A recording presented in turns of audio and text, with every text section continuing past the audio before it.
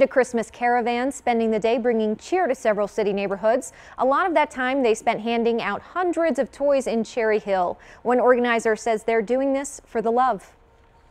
Our people don't need um, a hand out, they need a hand up. So we, we, we just giving them a hand up during these tough times that we're going through battling Corona and a lot of people lost a lot of loved ones. Um, so we just trying to uplift, give them hope and show them love. That's what and that organizer says he grew up waiting in lines like this every Christmas for food and toys. He says he's happy that he's able to give cheer to other kids just like he had as a child.